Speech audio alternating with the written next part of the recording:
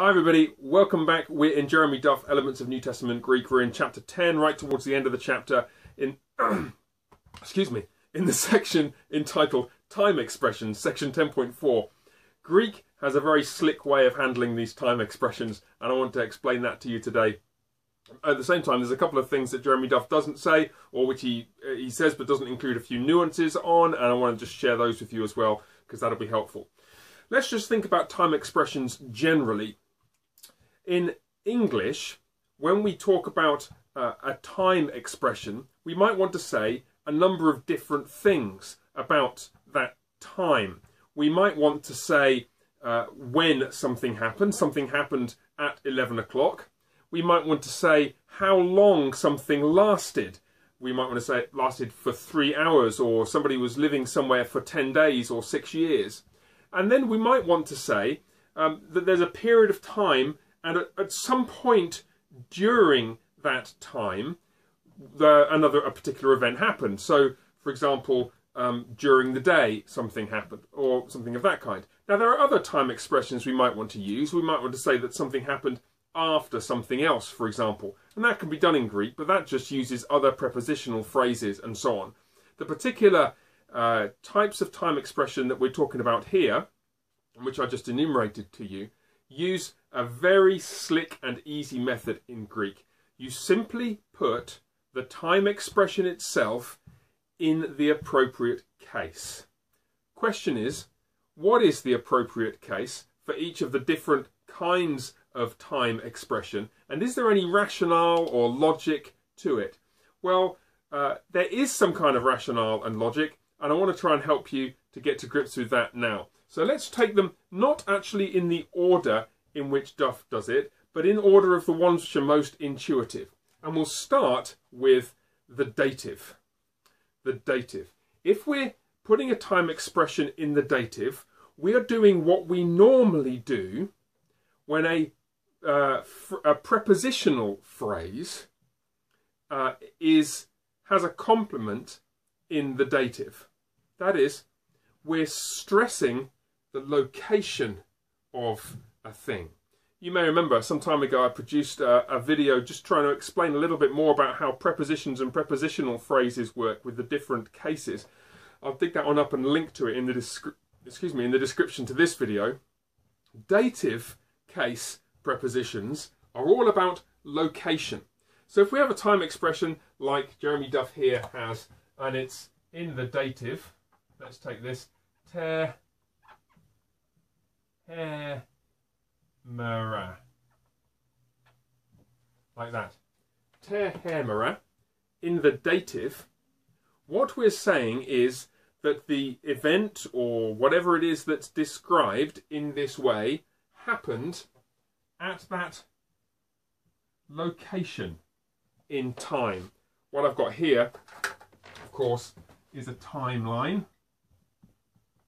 And uh, there, that goes stretches along here. So this is in the past, and that's heading off into the future. And these are markers on the timelines. These this might be Monday or Tuesday or Wednesday. Um, so this is the whole of Monday. I'm not really doing that very sensibly, am I? Let's do it like this. That's Monday. That's Tuesday. That's Wednesday. That's Thursday, and so on and so forth. Well, if I put a time expression in the dative case, then I'm saying it's on that particular day or in that particular day, in much the same way as a prepositional phrase where the complement is in the dative will tend to be about location in space or potentially location in time. So that's the logic for that time expression. Let's look now at what I think of as the next most logical one, which is a time expression that is in the accusative case. And Jeremy Duff gives this example uh, where he says, let's go green again, keep it consistent. Um, let's go here. Duo hair morass. And as he points out, because this is plural, duo, meaning two, then the as here is accusative plural, not genitive singular. So this is, whereas this is dative, this is uh, accuse sorry this is accusative plural not genitive singular is that what i said Yeah, so this is accusative plural. Now, when a time expression is put in the accusative case, it indicates how long something takes, how the duration of an event.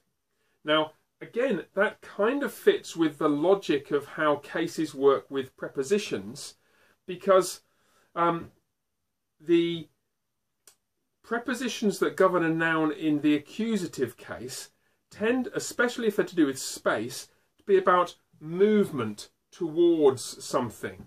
If you're going alongside the sea, you'll be going or moving towards or movement alongside something. You're going alongside the sea if you're in the um, the para plus the accusative case, and all the um, other prepositions that govern a noun in the accusative, like eis, uh, going in uh, into, you're heading sort of towards something. For me, it kind of has that uh, sense of being extended in space as you're moving towards something. I don't know whether that works intuitively for you, but in this case, the expression duo hemeras is describing the duration, the, the length of time something takes or the length of time something lasts. And so we translate this, as Duff says, something like for two days. Uh, it's for two days, the, the for indicating how long something takes.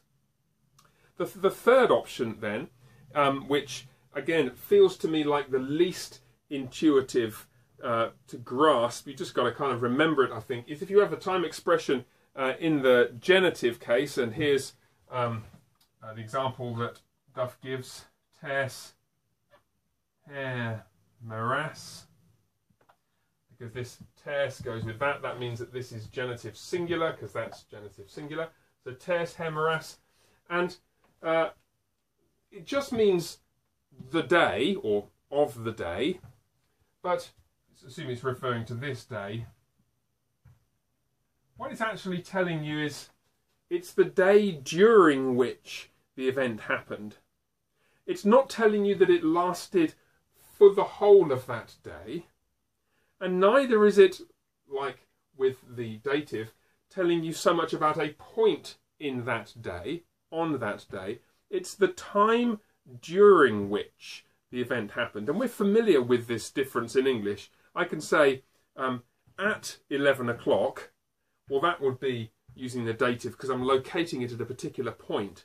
But if I was going to say during a certain hour, then it's any time within that hour or any time within that day, during that day. Now, just one point to note here, and this is the thing that um, Duff uh, uh, kind of sidelines a little bit, but it's worth bearing in mind. In English, we use many different prepositions to uh, describe time expressions, even when we are meaning roughly the same thing. So take the dative example. Um, uh, when Duff is talking about the uh, time expressions in the dative case, he says in a time expression, dative means the time at which an event happens expressed in English by on?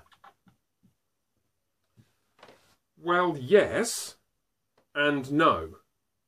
Because if you want to say that something happens on a certain day, you do say on Wednesday, on Thursday. But what if it's a certain month or a certain time of the day? We say on Wednesday, but we say in January in 2021 and we say at 11 o'clock. So be careful with that. In English, we don't always use the word on to translate what is meant by the time expression in the dative in Greek. Sometimes we use at, sometimes we use in, and so on and so forth. But the point to try and remember is this dative is locative, it's about location, in this case in time. Accusative is about the duration, the time taken for a particular thing, and maybe it helps just to think like this. Genitive is the other one. It's the time during which the event happens. Hope that's kind of helpful. It is slightly odd, and I wish I could come up with a better rationale for this one, guys, but it, it, I'm just stuck with it the same way that you are. But there's only three of them. By the time you've got to this point, you're used to just having to remember some things. Maybe this is another one that goes in that rag bag of stuff you just have to learn. Anyway, uh, come back uh, in the next video. We'll do a few more examples at the end of this chapter, chapter 10. Then we'll be ready to crack on to chapter 11. It's very exciting because in chapter 11 we're looking at some uh, different forms of verbs which are kind of challenge, challenging, but they're fun, they're important, they appear all over the New Testament. So they'll really help you when you're reading the New Testament in Greek, which is what you'll be able to do if you give this the time it needs 20 minutes a day, 30 minutes a day, five or six days a week, and we'll have you reading it in no time. Okay, God bless, and bye for now.